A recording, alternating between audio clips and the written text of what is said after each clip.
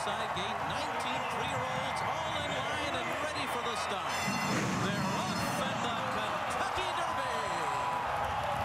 And had had a great start, but it's Comma to the top, who goes out to the front, and there goes Shackleford to the outside, and Pants on Fire settles in right behind them.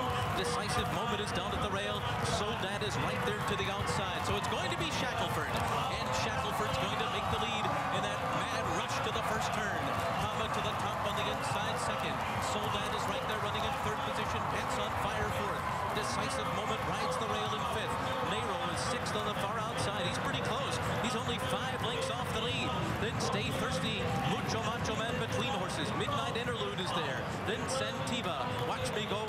side. At the rail is Twinspired. Animal Kingdom is right behind them.